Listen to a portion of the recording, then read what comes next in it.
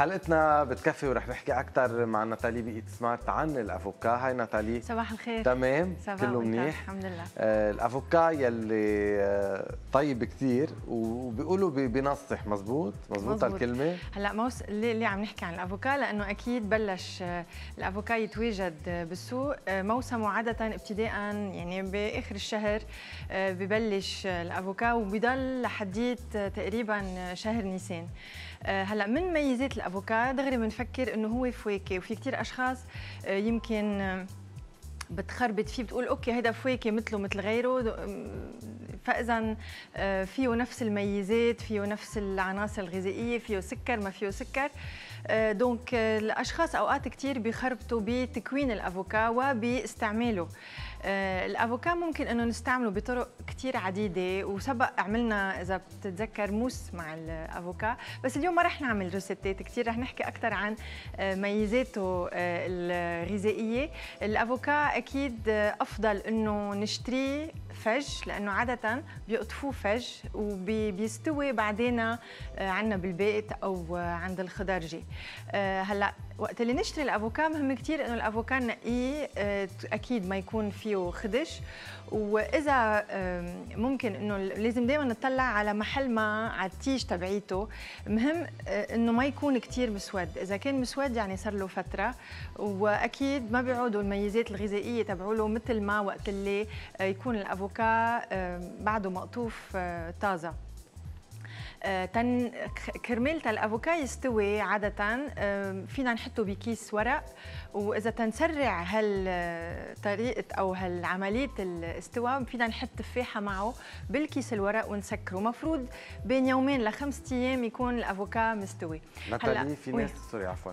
آه، في ناس بالافوكا بي- بيحطوه بيحطوا له شقفة شقفة قماش ولا ولا لا؟ آه، ممكن ممكن. يعني هو شو شو بيكون شو هلأ اللي بيصير اللي بيصير التفاحة؟ إنه التفاحة اللي بتطلع نوع من مادة هي ال éthylène بتخلي هال آه، هالأفوكا يستوي بسرعة أكثر هلا القماش ممكن إنه يساعد ما بعرف آه، أنا بعرف كيس الورق okay. لأنه بخلي هال environnement اللي موجود فيه الأفوكا يخلي هالإستواء يصير بطريقة أسرع وتتحول هالألياف اللي موجودة فيه تتحول لعناصر غذائية اللي نحن عادة بنفتش عليها بالطعمة وبالنكهة وكمان بتناولنا الأفوكا هلا آه، من الأشياء اللي مهمة كنا عم نشوف قبل آه، نوعين أفوكا إذا انتبهت لهم إلي إيه. في الأفوكا اللي أكثر شيء هلا في عدة أنواع من الأفوكا بس اللي أكثر شيء آه، بنستهلكه في ال- اللي بيسموه ال Hass avocado أو Californian avocado اللي بيكون عادة آه، من برا بيكون هيك مخربش. والأفوكا الف... الفلو... يعني أفوكا تبعه الفلوريدا اللي هو بيكون مالس إذا بتلاحظ اللي على اليمين هو ال Hass avocado واللي على الشمال هو ال Florida avocado. هلأ الفرق فيهم عم نحكي نحن تغذية. الفرق فيهم إنه آه، غير إنه الحجم ما عم بحكي أنا أكيد ال- اللي على اليمين أصغر بس نسبة السعرات الحرارية والدهون بالأفوكا الكاليفورنيان أفوكادو اللي هو آه، خشن لنفس الوزن أكثر أقل من الأفوكا اللي آه، مالس بيكون اللي آه، كمان متواجد عندنا بالسوق. يعني إذا بدنا نحكي لتقريبا ثلاث شرحات رفيع من الأفوكا. حوالي ال 50 جرام تقريبا آه، بيحتوي على آه، 45 سعرة حرارية بالأفوكا المالس بينما بالأفوكا اللي آه، كمان 50 جرام من الأفوكا ال Californian avocado اللي بتكون آه، قشرته منا مالسة آه، تقريبا 30 سعرة حرارية. يعني فيه نسبة دهون آه، أقل. هلأ الفرق منه كتير كبير حسب قد إيه عم ناخذ كمية بس مهم نعرف هالشيء هلأ كتكوين دهون بما إنه عم نحكي عن آه، نوعية الدهون وكمية الدهون بالأفوكا الأفوكا هو صحيح فواكه بس آه، نسبة السكر فيه منا كتير عالية مثل بقية الفواكه. يعني أنا ما فيني قارنه بالأناناس ما فيني أقارنه بالتفاحة ما فيني أقارنه لأنه بالتفاح فيه سكر بينما بالأفوكار أكثر شيء فيه هو الدهون. والدهون اللي موجودة بالافوكا هي دهون غير مشبعة وبالأخص ال monounsaturated fats اللي شبيهة لزيت الزيتون أو الزيتون شبيهة آه كمان لنوعية الزيت اللي موجودة بالسمسم. donc هي من هالأنواع من آه الدهون الغير مشبعة. عم نحكي نحن تقريبا إذا بدنا ناخذ آه افوكا قياسه وسط تقريبا نص الأفوكا بتعطينا 100 سعرة حرارية تقريبا ملعقتين لملعقتين ونص من الدهون. دونك ننتبه وقت اللي بدنا ناخذ أفوكا صحيح هو من الدهون الجيدة بس بدنا ننتبه إنه هو من المأكولات اللي نسبة الدهون فيها عالية. هلأ غير الدهون بالأفوكا آه، بيحتوي كمان على آه، ألياف. عادة وقت اللي ناخذ زيت ما في ألياف، وقت اللي نتناول يمكن مأكولات فيها نسبة دهون عالية قليل كتير إنه نلاقي ألياف. أكيد المكسرات كمان تحتوي على ألياف بس الأفوكا هو مصدر للألياف. يعني تقريبا عم نحكي نحن هون 3 جرامات من الألياف لكل آه، نص أفوكا. هي كمية مش عاطلة للأشخاص اللي بهمهم إنه يزيدوا نسبة الألياف بدون ما يكتروا يمكن آه، من غير آه، مأكولات بنظامهم الغذائي. وسهل كثير ندخل الأفوكا بأكلنا. يعني الأفوكا ممكن إنه نحط له خل وموتارد وزيت ناكله لوحده. في أشخاص بياكلوه مع سكر وعسل في أشخاص بيزيدوه أكيد بالمطبخ مزبوط بالسلطة الفواكه وقت اللي نعمل الفواكه كمان. donc طعمته كثير آه، آه، بتمشي مع كل شيء. هلأ شغلة كثير مهمة إنه ما لازم نسخن كثير الأفوكا، يعني الأفوكا وقت اللي نسخنه كثير ممكن إنه يمرمر، يعني بيحتوي على مواد اللي هي البوليفينول والبوليفينول هو الوقت اللي نسخنهم كثير ممكن إنه يعطوا طعمه مرة مشان هيك الأفوكادو بينضاف آخر شيء آه على المأكولات أو على الأطباق السخنة. وهيك هنت آه صغيره الأفوكادو اللي استوى وما بدنا نستعمله. ما لازم نتركه مثل ما هو نحطه آه بالفريزر أو بالبراد. فينا نطحنه نحط آه، حامض على وجهه لأنه الحامض بيمنع إنه يسود. ونتركه بالفريزر وفينا ندخله بعدين مع الأومليت للأشخاص اللي بدهم يزيدوا نسبة السعرات الحرارية ياخذوا دهون جيدة بدون ما يكونوا عم ياخذوا زبدة أو آه، غير أنواع من الدهون بيكونوا عم بيحسنوا نوعية الدهون اللي عم بياخذوها وبنفس الوقت ما بيكونوا آه، عم بينزعوا تركيبة الدهون بنظامهم الغذائي أه وقت اللي نحكي كمان آه، عن الأفوكا بدنا نحكي عن الفيتامينات.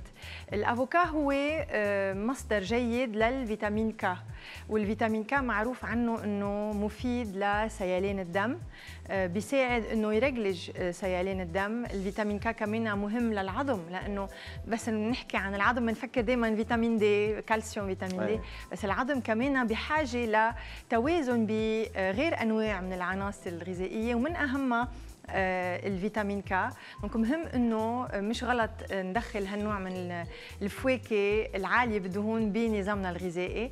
آه، هو كمان مصدر للفيتامين B 6 آه، وال B 9 اللي هن فيتامينات ضروريات. من أهم فوائدهم هن إنه مهمين للخلايا العصبية مهمين كمان لكثير من الأنشطة اللي بحاجة إلى الجسم. كرمال يفكك البروتينات ويفكك الدهون ويعمل ال métabolisme لكل المأكولات اللي نحن آه، عم ناخذها donc ما نقول لا هيدا فيه دهون ما بدنا نقرب صوبه ما ننسى إنه أكيد في فوائد ثانية آه، ضروري إنه ناخذها بهالنوع من الفواكه. شغلة كمان ويمكن هيدي ما بنعرفها هي الفيتامين C.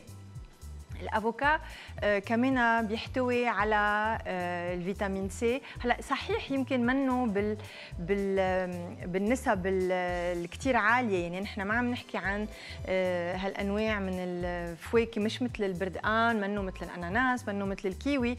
بس ليش لا؟ نحن بالنهاية ما بدنا نرتكز على نوع فواكه واحد أو نوع خضرة واحد تنأمن احتياجاتنا اليومية. دونك الأفوكا ممكن خاصة إذا كان محافظين عليه بطريقة آه، سليمة وجيدة. ممكن إنه آه، يكون هو مصدر كمان للفيتامين C.